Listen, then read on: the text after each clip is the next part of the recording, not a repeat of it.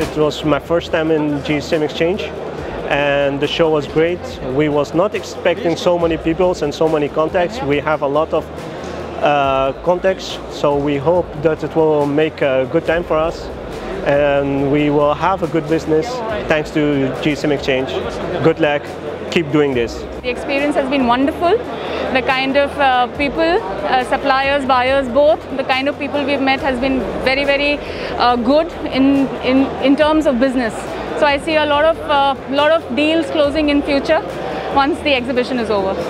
Our overall experience with GITEX has been lovely because we are visiting here for the first time and we've been able to interact with a lot of buyers from different parts of the world and hopefully you know we we hope to make uh, new deals with them this year is a great show and uh, we are really thank you for organizing this great event. Uh, it's a great chance to meet a lot of delegates, uh, clients, uh, suppliers and uh, our old friends. We have not met for around uh, two years maybe.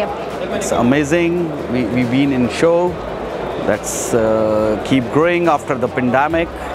This uh, GSM Exchange platform has been very, very good to us and it's been very much positive. In fact, we are the premium member since a long time, since 2011. We've been quite successful so far. We find uh, very interesting con uh, contacts and we hope to make uh, good contracts here. So this year GSM Exchange uh, uh, was a very good experience. as it was not expected that this much of crowd would be attracted to this event because of course of the pandemic and all. But to to the surprise of everybody, it was uh, it was it turned out to be a very good event with uh, a lot of people coming in. You know, it was a very good experience.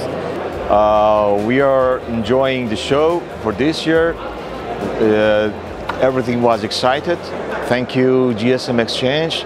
We could develop our relations after two years and uh, we believe that we can make it. It was amazing experience and thanks to GSM Exchange area because here you can meet the global traders in uh, electronic industry and uh, very serious and decent people. It was uh, so many good networking and good contacts and it's really good place to go. Thank you guys. Uh, we've been visiting uh, GSM Exchange for a while now.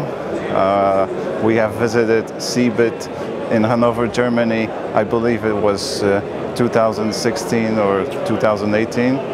This is this is the best trade show there is. There is no nothing like that on the market.